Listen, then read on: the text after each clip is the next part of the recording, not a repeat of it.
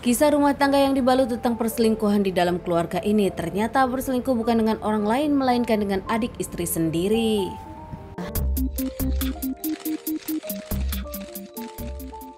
Kasus kejadian ini terjadi di Lampung diceritakan dari awal terjadi di kasus 2021. Berry Primanael berusia 21 tahun berpacaran dengan Amelia berusia 15 tahun yang ternyata masih duduk di kelas SMA kelas 1.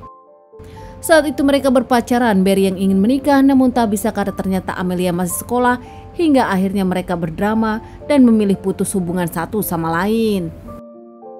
Namun tak lama setelah putus dari Amelia, akhirnya lima bulan kemudian Berry menikah dengan Siti Hasana yang ternyata kakak Amelia berusia 28 tahun. Antara Siti dengan Berry sendiri memang berbeda umur, Siti Hasanah lebih tua daripada Berry. Di awal rumah tangga Berry dengan Siti pun berjalan lancar. Ternyata Siti tak pernah tahu kalau Berry dengan Amelia ada hubungan. Kini meskipun sudah dikaruniai satu orang anak, ternyata Berry dengan Amelia berhubungan kembali. Berry berselingkuh dari Siti dan berhubungan dengan Amelia adik Siti di belakang Siti. Keduanya menjalin hubungan romantis lagi seperti dulu bahkan makin berani karena mereka kerap melakukan hubungan suami istri. Amelia pun seakan tak takut kalau suatu hari ketahuan oleh sang kakak Siti dan merasa kalau Berry adalah miliknya. Siti yang memang dulu sering bekerja untuk keluarganya menjadi tulang punggung keluarga kini tak bekerja membiarkan Berry yang bekerja di luar. Berry sendiri bekerja di penambangan udang. Setiap hari dirinya pergi kerja bahkan di hari libur pun mengakut ke tempat pertambangan namun ternyata memadu kasih dengan Amelia adik sang istri. Hingga akhirnya suatu hari ketahuan saat Siti sudah beranak dua, Siti pun mengetahui ternyata sang suami ada hubungan dengan adiknya sendiri Amelia. Amelia pun sudah diperingatkan oleh Siti, sudah di WhatsApp agar tak berhubungan dengan suaminya lagi, namun Amelia tak peduli. Meski Amelia, Siti dan juga Berry tahu kalau mereka bertiga ada masalah, namun keluarga tak pernah tahu ternyata Siti dengan Amelia menyembunyikan permasalahan ini dari keluarganya. Hingga akhirnya permasalahan yang jauh lebih besar pun datang ke mereka bertiga. Amelia mendatangi sang pacar Berry mengungkapkan kepada Berry kalau dirinya hamil padahal dirinya baru kelas 3 SMA. Amelia sendiri ingin Berry bertanggung jawab dan meminta Berry untuk menikahinya namun Amelia tak mau dimadu dan Amelia ingin menjadi istri satu-satunya Berry. Berry sendiri kebingungan tapi dirinya mencintai Amelia dan ingin bersama dengan Amelia. Perry jujur kepada Siti meminta Siti melepaskannya bahkan meminta Siti menceraikan dirinya. Namun nampaknya Siti ingin bertahan demi keluarganya dan Siti tak akan menceraikan apalagi tak ingin dimadu. Kesal dengan semua pernyataan dari Siti, Berry menganggap kalau Siti adalah orang yang menghalangi percintaannya dengan Amelia, sehingga akhirnya Berry pun mencari cara untuk melenyapkan Amelia. Merencanakan semua ini nampaknya Berry tak pernah memikirkan tentang kedua anak-anak dari pernikahannya dengan Siti. Keegoisan Berry membuat dirinya ingin menghabisi ibu dari anak-anaknya.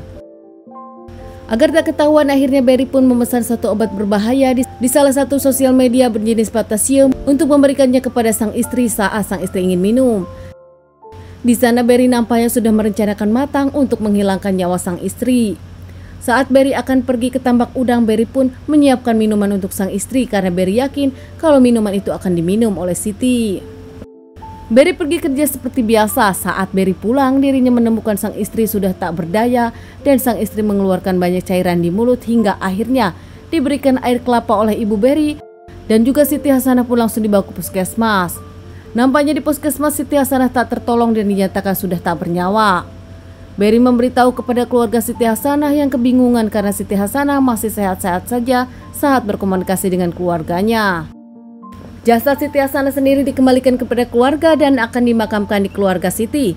Saat itu keluarga Siti merasa aneh karena keluarga diperingatkan untuk karena semua keluarga diperingatkan oleh Berry tak usah melihat wajah Siti tak bisa membuka kain kapan. Keluarga yang penasaran akhirnya dekat membuka dan memandikan Siti lagi. Ada keanehan di jasad Siti ada cairan yang keluar dari mulutnya dan bahkan ada biru di kakinya hingga membuat keluarga pun curiga kepada Berry. Keluarga melaporkan kejanggalan ini kepada pihak kepolisian. Tak lama pihak kepolisian pun menggeledah rumah Berry dan ditemukan jenis zat berbahaya. Akhirnya Berry sendiri diamankan di rumah Siti saat melakukan tahlilan. Setelah diamankan tanpa perlawanan, Berry pun akhirnya mengakui kalau dirinya melakukan kejahatan ini dengan motif karena ingin menikahi Amelia yang sudah hamil dan Amelia adalah pacar pertamanya. Keluarga dari Siti pun kaget ternyata ternyata Berry juga menghamili Amelia adik dari Siti. Kini Berry diamankan terkait pasal berlapis. Berry sendiri diberikan hukuman mati karena sudah menghabisi Siti dan juga sudah melakukan dengan anak di bawah umur. Meski mendapatkan tuntutan seumur hidup namun ternyata ponis dinyatakan kalau Berry dihukum 20 tahun penjara. Teman-teman sekian dulu bahasan kasus yang aku bawakan kali ini. Semoga ini bisa dijadikan pelajaran untuk kita semua dan ditunggu bahasan kasus-kasus selanjutnya.